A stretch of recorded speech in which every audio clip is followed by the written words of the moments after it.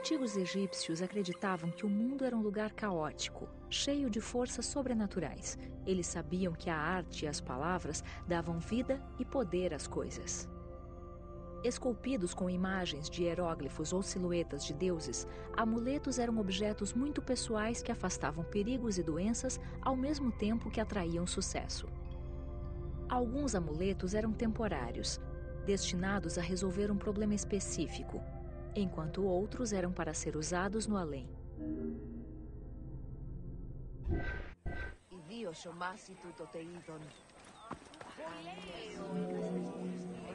Sacerdotes infundiam amuletos com energia mágica durante cerimônias religiosas, imbuindo-os de magia para proteger contra poderes sobrenaturais.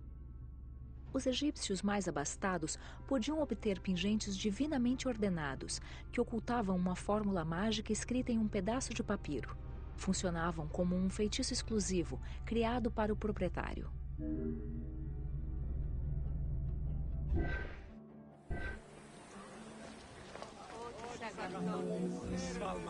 A religião era tão importante para os antigos egípcios que permeava todos os aspectos do seu dia a dia. Como a água era a fonte da vida e tinha o simbolismo de purificar o corpo e a alma, todas as rotinas diárias começavam com abluções.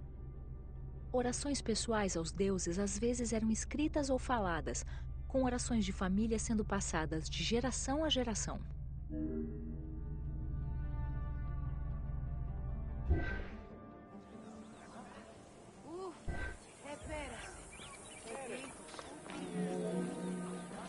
Havia um calendário completo com todos os dias religiosos, tanto bons quanto ruins, ilustrando os rituais diários apropriados.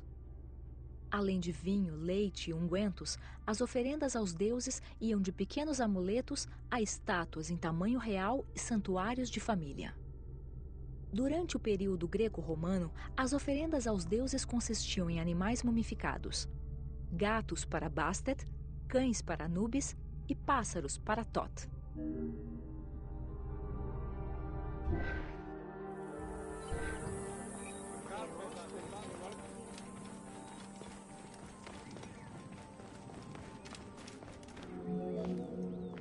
Considerados mensageiros dos deuses, oráculos ofereciam orientação a todos, independentemente do status social.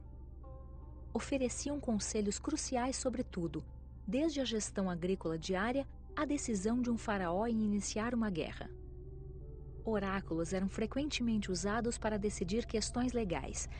Se o acusado rejeitava a decisão de um deus, outro podia ser consultado na esperança de resposta mais favorável.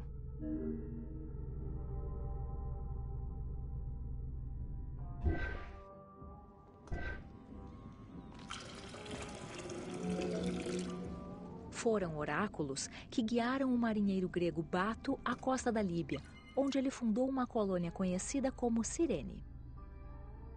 Durante a campanha de Alexandre o Grande pela conquista da Pérsia, ele consultou o oráculo no templo de Amon no oásis de Siuá e posteriormente foi ordenado um ser divino.